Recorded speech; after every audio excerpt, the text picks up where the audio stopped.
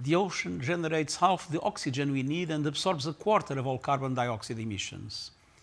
It is not just the lungs of the planet, but also its largest carbon sink.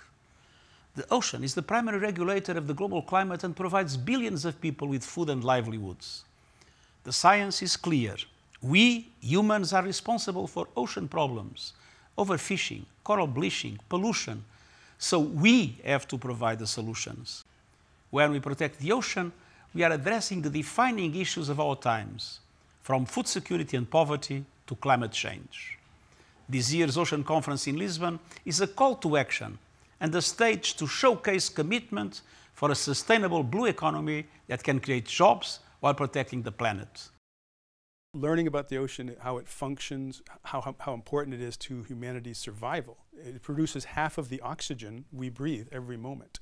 It uh, you know, delivers about 15% of the animal protein that humans need to survive. In some countries, as much as 40% of animal protein comes from, from the sea.